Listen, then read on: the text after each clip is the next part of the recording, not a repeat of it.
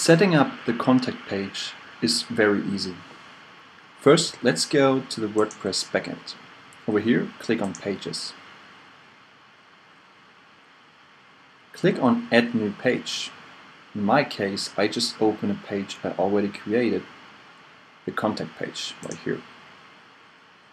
As you can see, the page itself is empty, but I chose the contact page template for this page.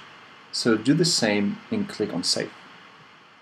Next thing you want to do is you want to go to the menu area and add that page to your menu. So this is um, very important because otherwise people just won't find your menu, um, your, your contact page. The next thing you want to do is you want to click on Circle Law admin area down here and then click on contact page. Over here you can add title description. This is what you see right here. And your Google Map location link, contact email, and some contact details. You can also add a message that is shown after someone used the contact form. Make sure to save everything and that's it, you're done.